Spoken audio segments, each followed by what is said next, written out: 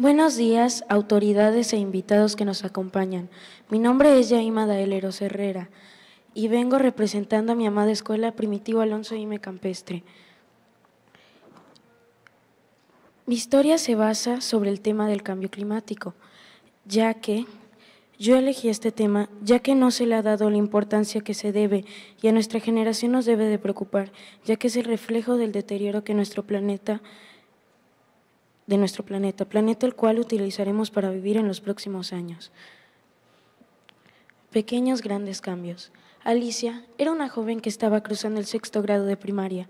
Ella era una persona que no valoraba el esfuerzo y el trabajo que costaba conseguir las cosas.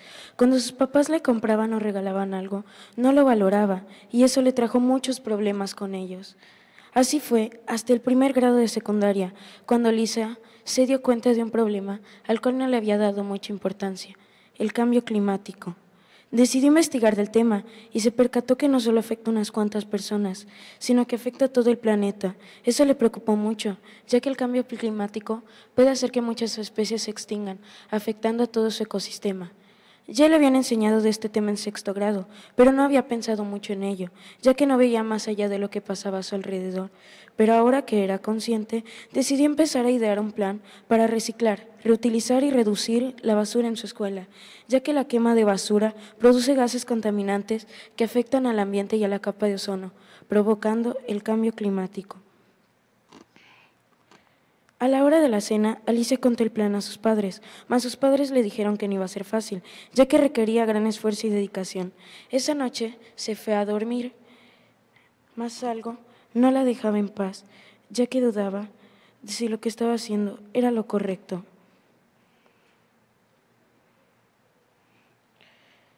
Sin embargo, al amanecer, Alicia estaba dispuesta a contarle el plan a sus compañeros. Muchos se burlaron de ella, pero a una niña llamada Aurora le ayudó a defenderse y le dijo que ella la ayudaría. Al siguiente día, las dos se pusieron a recoger la basura de toda la escuela y la depositaron en su lugar, separando la basura orgánica e inorgánica. Aún así, muchos les decían que no iban a lograr nada haciendo eso, mas no pararon de hacerlo. Un día, su director les dio una muy buena noticia. Le habían llamado para invitar a Aurora y Alicia a limpiar el parque público. Las dos jovencitas sabían que era mucho trabajo, pero decidieron aceptar. A la semana siguiente, Alicia y Aurora fueron al parque a limpiar, y aunque no era una tarea sencilla, pusieron todo su esfuerzo y dedicación, por lo que mucha gente al verlas decidieron unirse a ellas, y así la labor se extendió a otros parques, playas y muchos otros lugares públicos. Aurora y Alicia encabezaron y participaron en muchas campañas y crearon una asociación dedicada a brindar apoyo de mantenimiento a lugares públicos. Yo propongo que se tenga el recurso para poder crear lugares para la colecta y la división de la basura y que se capacite a las personas para que puedan trabajar en ese lugar. Siempre se encontraron con críticas, pero a ellas no les importó, ya que sabían que estaban haciendo lo correcto. Alicia siempre tuvo presente en su mente aquello que sus padres un día le dijeron y que para ella ahora era una realidad. Todos podemos tener nuestros finales felices, mas si queremos alcanzarlos, necesitamos poner todo nuestro esfuerzo y dedicación. Solo así lograremos pequeños grandes cambios.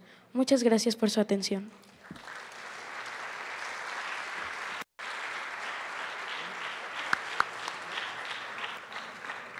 Se le concede el uso de la palabra a la diputada infantil Diana Abigail Pech